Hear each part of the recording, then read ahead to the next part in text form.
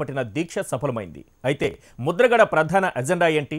తుని ఘటనలోని నిందితులను కాపాడటమా? కాపు రిజర్వేషన్ల కోసం మొదలైన పోరాటం ఎక్కడికి వచ్చి ఆగింది?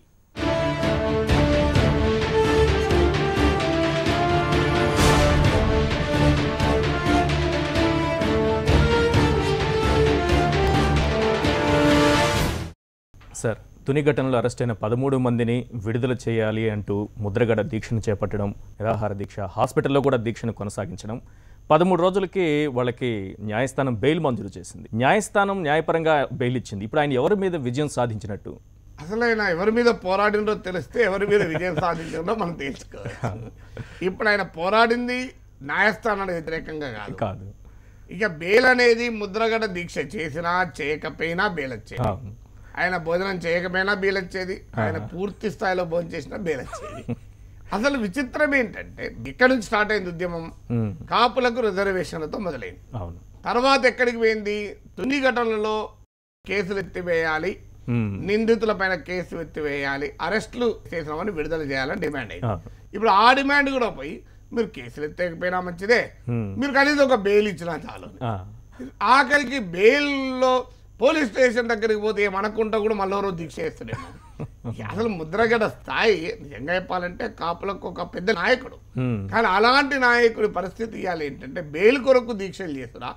అంటే బెయిల్ కొరకు దీక్ష మెయిల్ కొరకు దీక్ష దేని కొరకు దీక్ష తెలియని దీక్ష పర్వంలో ఆయన ఉన్నారు. అందరు వచ్చి బతిల్లాడినప్పుడేమో దీక్ష విరమించలే.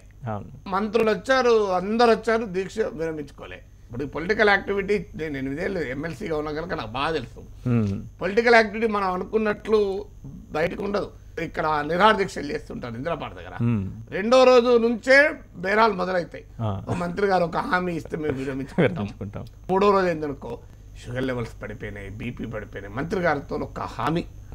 హామీ ఇవ్వకపోతే మంత్రి గారు హామీ ఇస్తారన్న విశ్వాసంతో మేము విరమించుకుంటున్నాం అంటారు. ఆఖరికి ఇలాంటి దీక్షలు. సో అందువల్ల ఈ వ్యవహారాల వల్ల దీక్షలు చేయడం వల్ల ఉపయోగం లేదు. దీక్ష అంటూ చేస్తే తాడోపేడో తేల్చుకోవాలి. తాడోపేడ తేల్చుకోవాలి నిర్దిష్టమైన చర్య ఉంటేనే తీసుకోవాలి. ఇప్పుడు ఆయన దీక్ష చేసింది కాపు రిజర్వేషన్ల కొరకు కాదు. అంటే ప్రజల సమస్య మీద కాకుండా ఈ ముగ్గురు బెయిల్ సమస్య పైన నిరాహార దీక్ష చేస్తే ఆయన వెనకాల ముగ్గురే ఉంటారు తప్ప కోట్లాది మంది లక్షలాది మంది కాపులు ఎక్కడికి వెళ్ళి వస్తారు. అందువల్ల పొలిటికల్ స్ట్రాటజీలో కూడా ఫెయిల్ అవుతున్నాడు. విచిత్రం ఏంటంటే పొలిటికల్ స్ట్రాటజీలో కూడా సక్సెస్ కాలేకపోతున్నాడు. ఒక పవర్ఫుల్ ఆయుధం తన చేతిలో ఉంచుకొని ఉమ్, కాపులు చాలా నియోజక కనీసం ఆంధ్రాలో ఒక నలభై నియోజకవర్గాల్లో కీలకమైన పాత్రలో ఉంటారు. ఉమ్, ముద్రగడ గారికి ఇమేజ్ ఉంది. కాపుల కోసం తిరుగు లేకుండా రాజీ లేకుండా పోరాడాడు. ఇవాళ ఆయన దాన్ని పొడగొట్టుకుంటున్నాడు. అంటే గతంలో కూడా ఆయన మీద ఒక విమర్శ ఉంది. Hmm. ఆయన ఎప్పుడు ఉద్యమాన్ని లేపుతాడో తెలియదు ఎప్పుడు పడేస్తాడో తెలియదు. ఏం చేస్తాడో తెలియదు. ఇప్పుడు మరొకసారి ఇప్పుడు ఏమీ లేకుండా ఆఖరికి ఆయన బెయిల్ కోసం దీక్ష ఇస్తే ఇప్పుడు జనరల్గా దీక్ష విరమించేటప్పుడు ఎవరెవరో ఇప్పుడు ప్రభుత్వం మీద దీక్ష ఒక మంత్రి వచ్చి నిమ్మరసం ఇస్తారు లేదో ఒక ఆఫీసర్ వచ్చి కలెక్టర్ వచ్చి నిమ్మరసం ఇప్పుడు ఎవరు నిమ్మరసం ఇవ్వాలి బెయిల్ న్యాయాధికారి వచ్చి నిమ్మరసం ఇవ్వాలా లేదంటే ఆయనే నిమ్మరసం నేనే తాగుతున్నాను తాగాల? లేకుంటే ఎవరు మీడియా వాళ్ళందరూ పోయి నిమ్మరసం ఇవ్వాలా ఆఖరి నిమ్మరసం ఎవరిస్తారో కూడా అర్థం కాని పరిస్థితి. లేదు నిమ్మరసం నాకు ఎవరైనా ఇవ్వాలని దీక్ష చేయాలా? నాకు నిమ్మరసం ఎవరైనా ఇవ్వాలి వెంటనే. ఇవ్వకపోతే నేను ఎట్లా దీక్ష విరమించుకోవాలని మళ్ళీ దీక్ష చేసే అవకాశం ఉందా? ఇలా స్థాయికి ఎందుకు మరి ముద్రగడ చేసుకుంటున్నాడో ఆయనకి ఎవరు సలహా ఇస్తున్నారో ఏం చేస్తున్నారో అర్థం కాని పరిస్థితి. చూసేవాడికి మాత్రం చాలా ఆశ్చర్యంగానే ఉంది. ఎక్కడి నుంచి స్టార్ట్ అయింది పోరాటం? లక్షలాది మందిని మొబిలైజ్ చేశాడు. మొబిలైజ్ చేసినప్పుడు దాన్ని ఒక సస్టైన్ చేసి ఉద్యమ రూపాన్ని ఇచ్చి తాను కోరుకున్న లక్ష్యాల కోసం ప్రజల్ని సమాహితం చేసి సాకారం చేసుకోవాల్సిన వ్యక్తి సడన్గా రైల్వే పట్టాల మీదకి పొమ్మన్నాడు. తెలుసు అన్కంట్రోల్డ్గా మాబున్న సమయంలో అలాంటి పిలిపే ఇవ్వకూడదు. ఇచ్చాడు. ఇచ్చిన తర్వాత హింస జరిగింది. హింస జరిగిన తర్వాత మళ్ళీ ఇవాళ ఆ హింస పైన చర్యలు తీసుకోవద్దంటాడు. అంటే రైళ్ళు కాల్ కాలబెట్టినా బస్సులు తగలబెట్టినా ఎవరి మీద చర్య తీసుకోవద్దంటే దానిపైన ఎవరైనా దీక్షలు చేస్తే ఈ దేశంలో సాధ్యమవుతుంది అది. నేను ఏమైనా చేస్తా నాకు దీక్ష చేయాలంటే ఎట్లా? ఇప్పుడు నేను కూడా దీక్ష చేస్తా. సెక్రటరీ నాకు ఇచ్చేయాలని. నాకు సెక్రటరీ మొత్తం నాకు రాసి ఇవ్వాలని దీక్ష చేస్తా. ఒప్పుకుంటారా? అందువల్ల మనం దీక్షలు చేసేటప్పుడు Hmm. అది రీజనబుల్ డిమాండ్ అయి ఉండాలి.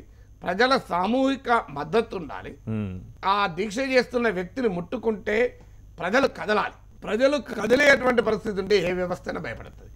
మరి ముద్రాడ గారు ఆ రకంగా కాకుండా ఆయన డిమాండ్లు కన్ఫ్యూజింగ్గా ఉంది ఆయన దీక్షలు కన్ఫ్యూజింగ్గా ఉంది ఆయన యాక్షన్లు కన్ఫ్యూజింగ్గా ఉంది. న్యూస్ యాంగిల్లో ఇప్పుడు ఒక చిన్న విరామం.